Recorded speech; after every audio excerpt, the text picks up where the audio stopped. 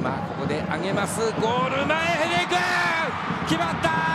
1対1へ追いつきました。最後は空中戦で前に上がっていた小谷。1対1アディショナルタイムで追いつきました。